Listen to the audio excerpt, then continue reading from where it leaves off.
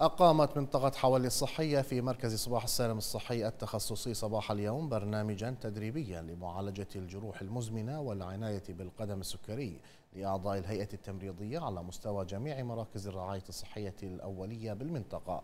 وبدورها أكدت رئيسة المركز ورئيسة فريق السكر بلجنة تطوير الأداء بالمنطقة الدكتورة زهرة حسين أن البرنامج يعتبر جزءا من سلسلة البرامج العلمية التي يقوم الفريق بتنظيمها في منطقة حولي بالتنسيق مع رابطة معالجة الجروح والقدم السكري الكويتية.